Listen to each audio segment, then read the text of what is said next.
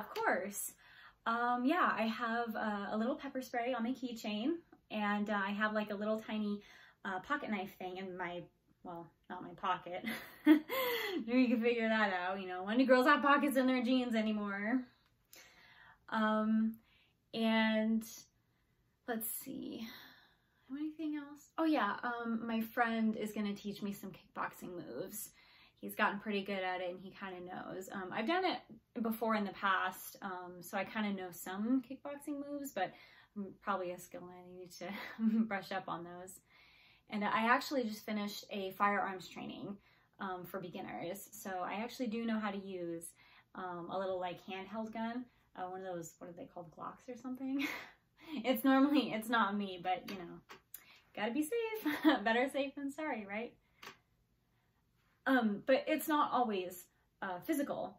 I, I do have some like other things that um, that I think of, like uh, like if I'm traveling on foot somewhere or something. Um, I'll look around uh, like at the ground for shadows, you know, when it's like really sunny outside and then you can see your shadow. It can be on the right or the left or like directly in front of you. That way I can see if uh, anyone's approaching me from behind or anything like that. I'll see their shadow first.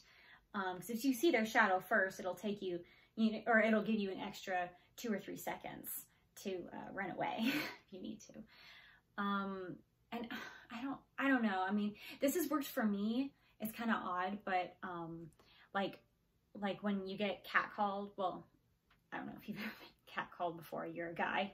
Um, but uh, like if, if you get catcalled or like some random person on the street is like coming to try to talk to you or whatever like that, um, the first thing that I do is I like start to talk like in a really low voice and I try to like talk like a guy because then they get like really turned off most of the time and so you know if they if they feel the need like like they're gonna like attack like a female if you confuse them a little bit then they kind of freak out and then you know they just kind of go away on their own.